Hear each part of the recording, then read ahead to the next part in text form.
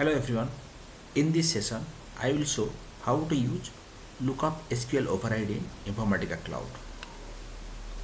For that, let me open the mapping. We had already created this mapping previously. Click the lookup transformation. Click lookup object.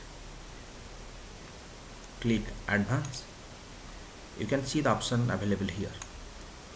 So what is lookup SQL override by default Informatica generates the SQL based on the return ports and the join condition which we provide. If we want to modify the lookup condition then we can use our custom query. I'll show you one sample query. You can see previously we used the department number as a join but we did not provide any condition. But this time we are going to provide where department number equal to 20 so we can use this query. And you can see at the end I have added two hyphens. This is required if you want to suppress the order by clause order by clause. Copy this put it in inside this SQL override click save.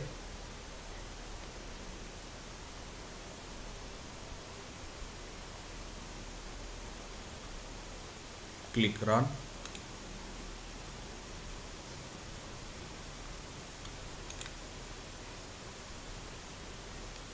So what we will get this time? We'll get the department name and location for department number where department number equal to 20 starting.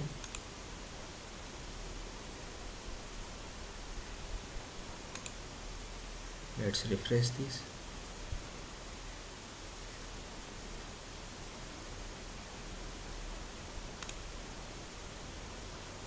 Succeeded.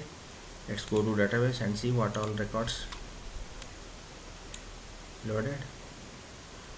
Execute select star from tgt underscore emp now you can see.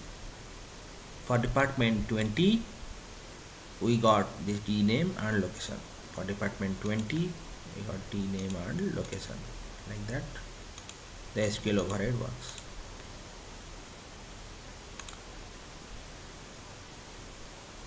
Now if you want for department 20 and 30 so what should be the query where DPT number between 20 and 30 we can use this query now.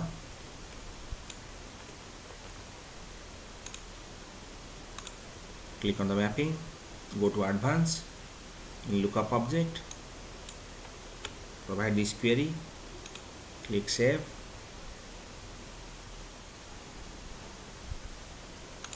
click run.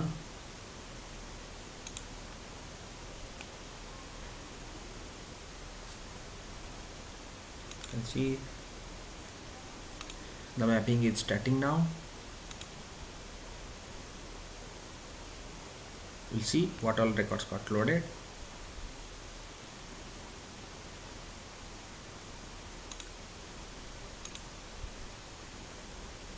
Mapping is running now it succeeded. Let's see in the database.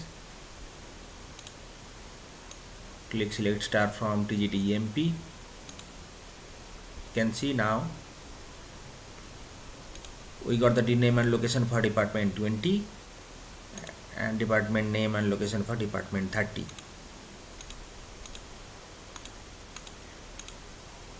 yeah. in this way the lookup SQL override works. Thank you